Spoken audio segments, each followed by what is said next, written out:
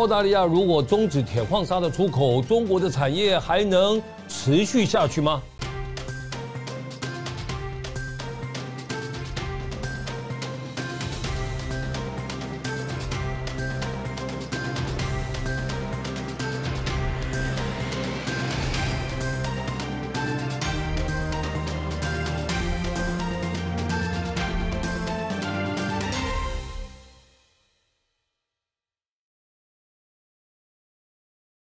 各位观众你好，欢迎收看经纬点评，我是 David 郑经纬，我们又在空中见面了，对不对？太棒了哈！每天呢都看时事，我们讲的是呢新闻，当然来讲，在新闻的背后都有很多故事哈。那当然，现在大家可能非常关注的就是中澳关系的如何发展，因为我们看到呢，这个在前天的时候啊，中国发改委发了一篇声明。对不对？这个声明当中讲到几个字啊，非常的这个让大家觉得说，哎呀，中国对不对？无限期哦，无限期暂停中澳战略经济对话机制。这个由发改委，大家知道发改委在中国啊，它基本上对中国所有的产业的规划，它有一定的决策高度哈。那这次发改委的表态呢，让中澳之间的这个贸易往来啊。让大家更加的担忧，因为话说这个自从特朗普上台啊，一七年之后，澳大利亚突然之间跟中国有将近二十年的那种甜蜜关系啊，开始生变。话说二零一四年十一月，习近平到澳大利亚访问的时候，对不对？那跟那个澳大利亚总理两个还一起宣布啊，说我们呢。这个澳大利亚跟这个中国的这个自由贸易协定谈判的已经完成了，我们现在正式开始另外一个新的阶段，怎么样？怎么样？就代表两国关系啊，实际上是非常的紧密。就从零八年金融海啸风暴，澳大利亚能够渡过难关，对不对？我们曾经讲过，就多亏中国啊，对不对？不断的跟他买天然气、买矿产、买农产品，什么澳大利亚就算。在零八年金融海啸风暴当中啊，第一个恢复过来的国家，因为它升息了，对不对？表示呢，它的经济复苏了。那回头再看呢，这些年的努力啊，实际上在二零一七年开始，双方两国之间的味道就越来越不对劲。接着华为五 G，对不对？不许参加澳大利亚的五 G 建设。就华为必须退出啊！什么原来从南太有一条海底光缆，又电缆啊光光缆经过这个新西兰、澳大利亚到什么中国，后来又不准华为做啊，所以这都是看得出来中澳之间的紧张关系啊，实际上在跟美国总统是谁有一定的关系，对不对？说实在话，现任的这个澳大利亚总理 Scott Morrison 啊，他以前当财政部长的时候。还去过中国访问哦，谈这个中澳自由贸易协定的时候，他是代澳方代表，哎，那时候多好啊！那时候哪有什么意识形态的问题？但现在意识形态已经啊挂帅。澳大利亚呢跟中国的关系，在这种美国认为必须跟中国做一个，其实就是对抗的情况之下呢，这个。产生了微妙的变化，但是美国讲的比较好听，技术性啊，说我们叫竞争与合作，对不对？竞争与合作，媒体对抗，竞争与合作，对不对？你你讲起来，哎，好像合理啊，啊，对不对？我们做生意不都这样吗？有竞争，也有一些合作，但是呢，实际上这次看得出来，这个压力之大，让中澳关系已经陷到了一个瓶颈。但是很多人就在问了啊，从这个大概去年开始。澳大利亚的红酒、木材、牛羊肉，对不对？甚至连这个大麦什么东西啊，一样一样，在进口中国的时候呢，受到一定的这个啊限制哈。当然，中国这边也有很多理由认为，譬如说你的这个呃这个价格有倾销的嫌疑啦啊，这个那个哈。当然，现在就变成可能要到 WTO 啊去打这个跨国官司啊，大家去啊仲裁嘛，让 WTO 来仲裁啊，到底。这个中国的做法对不对啊？怎么样？那但是呢，这个连澳大利亚的煤对不对都受影响，甚至前一阵子中国啊在冬季的时候供暖啊这个出问题，有人说就是因为澳大利亚的煤啊不够啊。当然这个未必是关关键啊。当然这个刚刚过去的北半球的冬天啊还比较冷啊。但澳大利亚跟中国的关系啊，实际上是必须承认的哈。这个过去真的是从这个中澳建交七零年代到现在，因为中美建交之后，中澳很快就建交了，对不对？跟当时的这个台湾中华民国就断交，马上跟新中国建交，这个这个态势是跟着美国走哈。那当然，我们前面有几集有讲过，说因为当年这个在二战的时候，澳大利亚人呐就看到了这个这个必须啊要跟美国走这件事，那跟着英国走已经不行喽，对不对？当然讲到澳大利亚，这个澳大利亚这个地方哦，我想很多人都去过，对不对啊？对澳大利亚印象，尤其是这个达令港的这个啊歌剧院啊，那多有那个气派啊！如果能在里面吃一顿晚餐，那很棒的一件事，对不对？外面的人扒着窗户看你啊，这感觉很好啊。那如果到歌剧院顺便再听一场歌剧，哎，这感觉就不一样，好像这个世界几大这个景点你都去过嘛之一啊。好，当然讲这个澳大利亚这片土地啊，实际上来讲大概差不多在五万年前呢，对吧？我们今天从地图看世界啊，要讲一下地理课哈，来。这个五万年前的澳大利亚，实际上当时是在冰河时代。当时的地球哦，就连快赤道附近都很冷啊。整个地球因为这个太阳的关系啊，当时地球非常冷，整个这个南北极啊，一直一直覆盖啊，基本上在赤道附近还会下雪，你就知道当时的地球有多冷。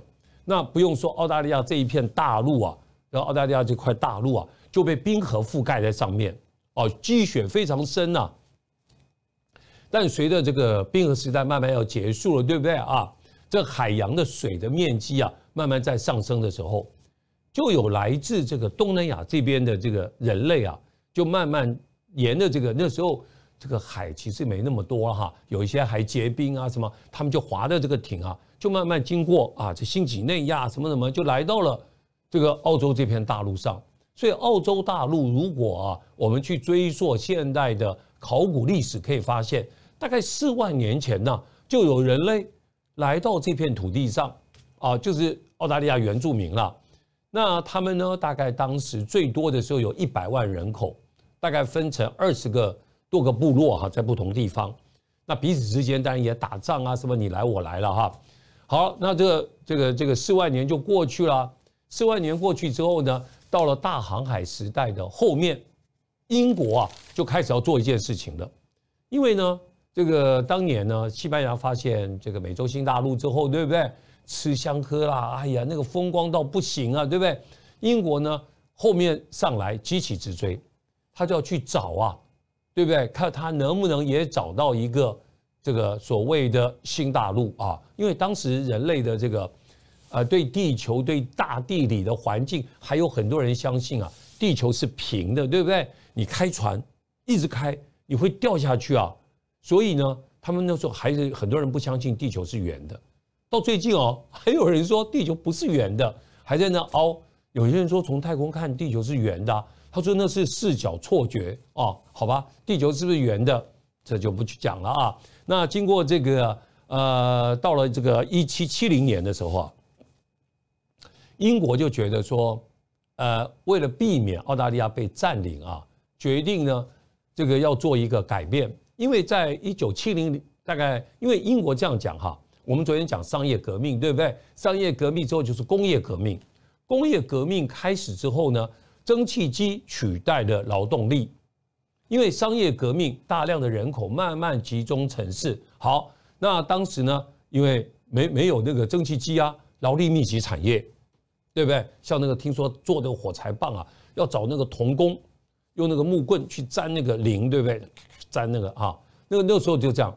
后来发现了有蒸汽机，对不对？发明了蒸汽机，开始工业化，就大量的英国人在城市里啊失业了，对不对？工厂不要那么多工人了。好，那呢犯罪率上升，治安不好，因为穷嘛，去偷去抢。所以英国当时呢就修了一个法典啊，就很严严的一个呃算是刑法啊，这个叫做血腥法典。这个血腥法典，简单的讲，偷只鸡啊，可能都是死刑啊，你就知道多严重哈。大概在当时的这个法典里面有两百条法律，这个人触犯了是死刑或无期徒刑啊，你就知道那个血腥法典有多严呐。但当然，现在英国只剩下二十个法，就你触犯二十种法律是会涉及到无期徒刑啊。但当时是两百多啊，什么偷鸡摸狗这种事啊，就就死定了。好，那当然来讲呢，这个英国呢，这个有一些是不是死刑的嘛？哈，就要关在监狱里。好，监狱关关关，那就关不下啦。啊，偷只鸡，偷个鸡蛋也关起来，要无期徒刑，对不对？好，监狱就满了。满了之后呢，英国人讲说，哎，我们船很多，对不对？把这些犯人呐，就关在海上的船，也不要怎么看守他，他有本事游嘛，他游不到岸上啊，对不对？就就淹死了。所以呢，就让他们睡在船上。他睡在船上以后，卫生条件不好，环境不好，死的人又多。英国就这样讲，这舆论也有点反应，觉得说，他搞了半天怎么那么我们。那么高贵的这个大英帝国怎么搞得那么邪恶，对不对？说这样好了，把这些人呢送到美洲新大陆，送到美国去哦。就现当时还是英国的殖民地，所以那边呢种棉花，因为那时候还没搞独立，对不对？然后种棉花去，农场主你要不要？我给你一点罪犯呐，囚犯送到你那边去，让他们去劳动，然后呢改造之后呢，呃，这个这样对你也有劳动力嘛。所以当时有大批的这种。所谓这种血腥法典的罪犯呢，去了美国。后来美国独立了，就不要了。美国说：“我跟你要分清楚，我不要你的罪犯啊，对不对？我我去非洲买啊，非洲那个比你们这些英国人这个能用的多啊，对不对？就壮嘛，对不对？壮啊，所以有了这个黑奴嘛，哈。好，那这英国怎么办？他还是有那么多罪犯，还是没解决。他就突然看到在。当时啊，后来因为库克船长当时发现了澳大利亚，那英国就想说，澳大利亚这片地，当时英国跟法国啊都在这附近找，他们找到澳大利亚不太满意啊哈，他们觉得因为要找到的这片大陆啊，上面最好要有很多人，人代表劳动力，对不对？代表物产富饶，但一到这个澳大利亚这片土地上啊，没啥东西哎，对不对？就是原住民文化也很落后。啊，也没什么劳动力，所以英国就很伤脑筋啊。说这样好，美国那边美洲啊，美国搞独立了，对不对？不要囚犯，我就送到澳大利亚。那反正那个地方鸟不生蛋，我就让他们去开垦嘛，种棉花也好，对不对？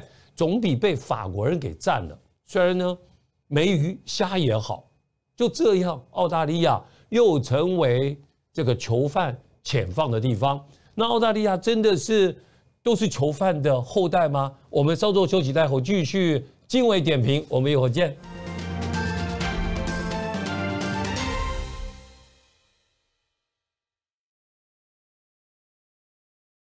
各位观众你好，欢迎回到经纬点评第二段，我是 David 郑经纬。那当然呢，在这个话题当中啊，我们喜欢把新闻的背后的故事啊，跟大家分享哈。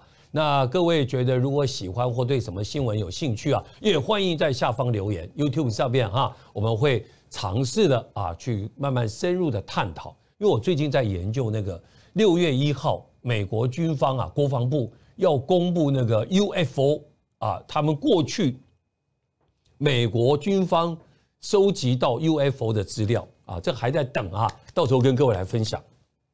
六月一号到底外星人？不明飞行物，对不对？是不是外星人？哈，这件事，美国军方要说话了哈。好，那继续我们今天的话题啊，从从地图看世界哈，讲的是澳大利亚这片土地。澳大利亚当然讲得天独厚，土地非常的大。当然呢，这个冰河结束了，实际上澳大利亚因为地理环境的关系啊，它比较算是有一点温带气候啊，潮湿多雨。如果就纬度来看，它跟南非的 Cape Town 啊、开普敦啊差不多在一样的纬度，但两边的气候是截然不同哈。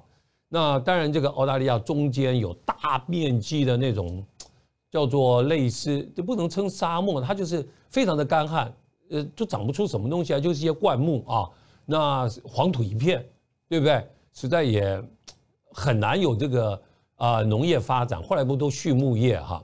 但在这个随后啊，在这个慢慢的这个过程中呢，英国的移那个囚犯当然也来到这片土地上啊，确实刚开始是真的是想要种东西啊，但是真的就种的不成功哈。那只有后来这个像呃，像布里斯班呐、啊，悉尼啊这一带，才慢慢的啊开始有了这个人类的居住啊。所以第一次库克船长当时啊带着囚犯来到这个澳大利亚的时候，他们是从澳大呃悉尼旁边大概十五公里远的一个叫植物湾呐登陆的，对不对？那在前两年吧，我特别去悉尼旅游，还跑到植物湾去看看啊，体验一下当年呢这些人怎么会选这个地方登陆啊？那个都礁石嘛，好奇怪。但是后来他们就觉得说这个地方太烂了，我们就往再移一下，就移到了悉尼现在这个达令港这个地方啊。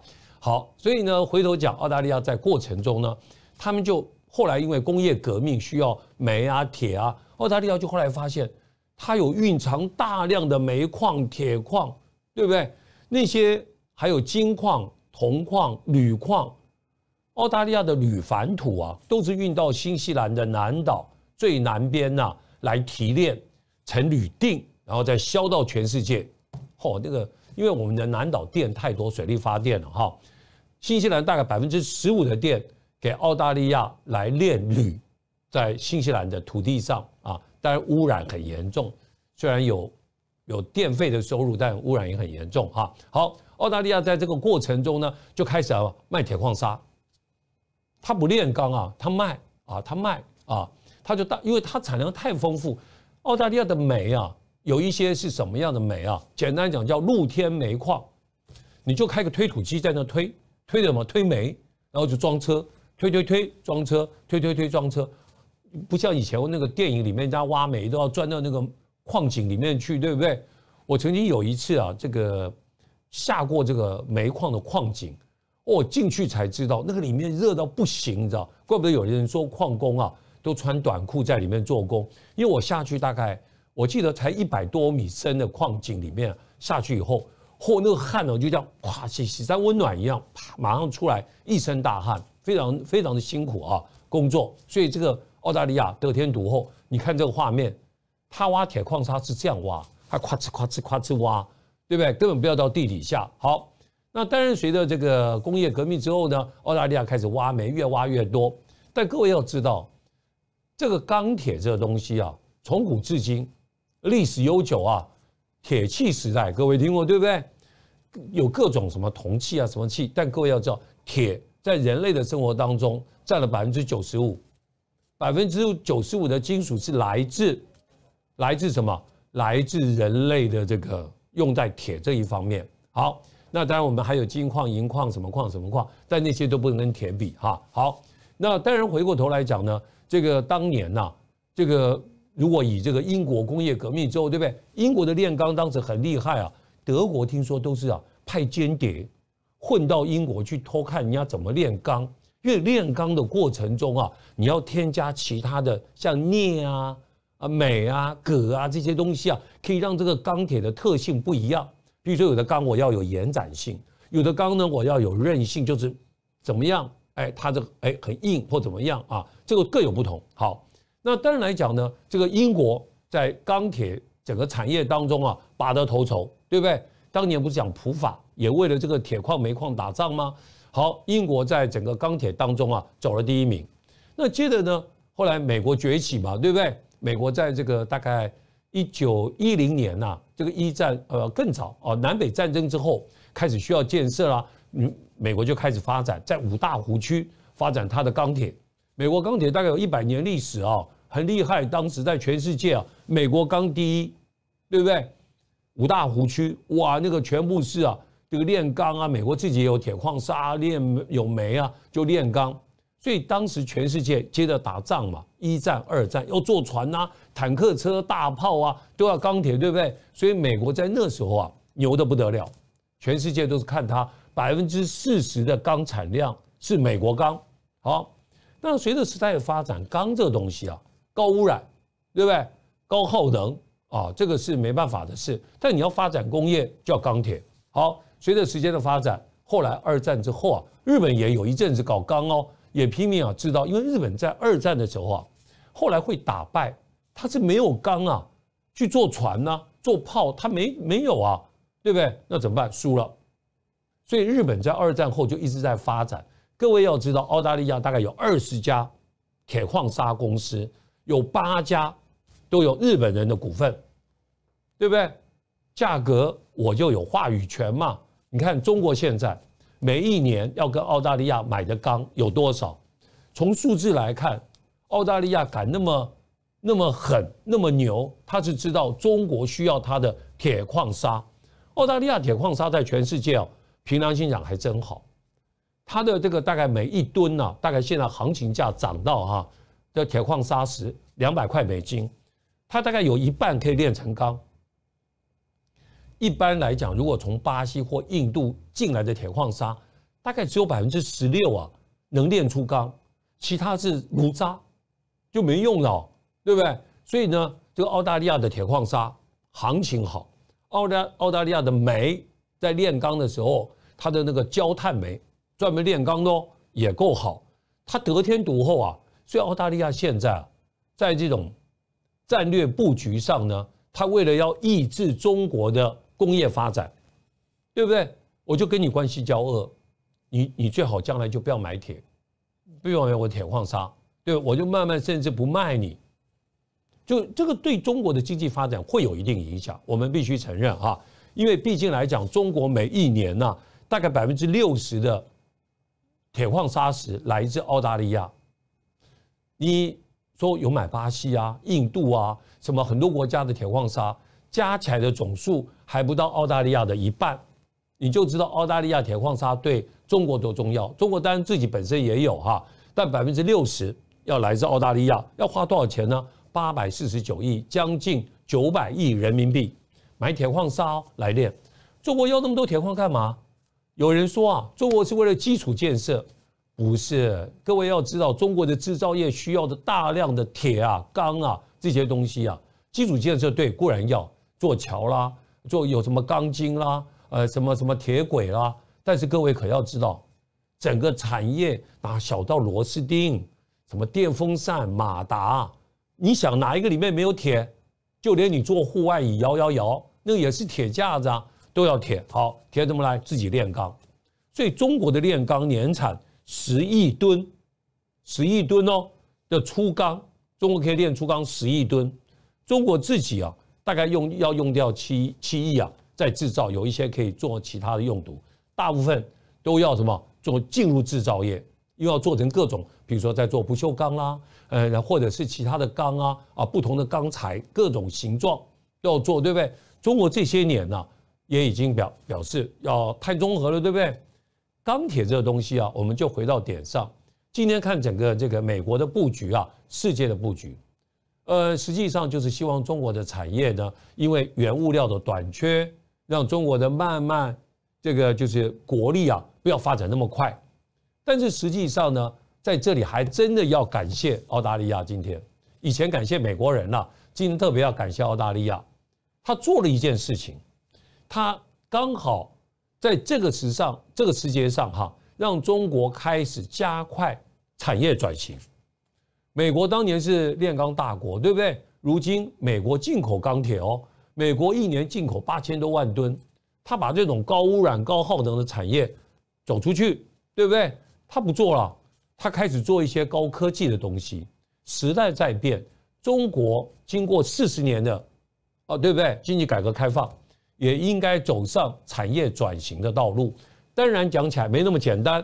你说明天我们就不炼钢了，所有的产业通通转型，怎么转？他说我是螺丝钉工厂，我就是做螺丝钉，别的不会啊，对不对？但是这一次是一个契机，所有的企业啊，实际上要看到这个问题之所在。世界局势诡谲多变，不能永远大家等着政府政策，对不对啊？你看现在这个这个进口的铁矿。铁矿这就这种什么钢坯啊，就是中国现在不是把这个钢炼完以后，一个锭一个锭这样子一块块啊，叫钢坯。这个还没有去呃精加工的，一吨已经交到五千块人民币，钢价一直在上哈。当然呢，跟这个中澳关系的紧张啊有一定的程度。但是中国的产业未来长远的发展，如果真的要走到呃碳中和啊，到二零五零年。啊，中国要慢慢的转型，让中国不再依赖大量的原物料，做一个制造大国。其实制造大国是有代价的哦，污染也不轻，耗能也不少。所以这一次呢，澳大利亚真的是谢谢他们，对不对？下了狠手，这个让中国政府也下定决心啊，产业要转型。那当然企业要跟上啊，不然你这种老工业，你可能真的要准备被淘汰了。所以如今啊，世界局势诡谲多变的时候，更是考验所有中国人的智慧。那当然来讲呢，这个就是周末两天，那祝各位啊周末愉快，也欢迎各位在下方留言表达您的观点哈，说说您觉得呃中国的产业将来我们该朝什么样的方向去发展，才在世界上啊更有竞争力。今天祝各位周末愉快，我们下周一啊。同一时间，空中再见喽，拜拜。